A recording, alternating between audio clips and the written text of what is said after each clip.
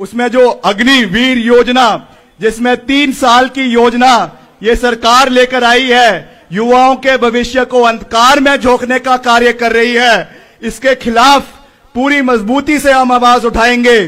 पहले ही हमारा जो इंडिया अलायंस है, हमारे राष्ट्रीय के नेता है, वो ये बात कह चुके हैं कि अग्निवीर योजना में तब्दीली लाकर जो है इसके, इसका सर्विस पीरियड बढ़ाया जाएगा। इसका हम पूरे रूप से समर्थन करते हैं, क्योंकि ये युवाओं के भविष्य की बात तो है ही। मगर युवाओं के भविष्य के साथ साथ ये हमारे देश की आंतरिक सुरक्षा का मामला है। आंतरिक सुरक्षा का मसला है, क्योंकि अगर हमारे जवान जो तीन साल के लिए नौकरी करते हैं, वो इतने मोटिवेटेड नहीं हो पाते कि सरहद पर जाकर लड़ाई लड़े।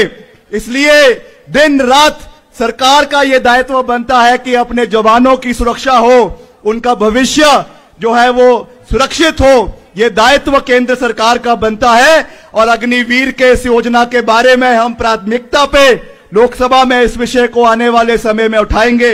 ये भी मैं आपके बीच में जो है वो पूरी मजबूती से कहना चाहता हूँ।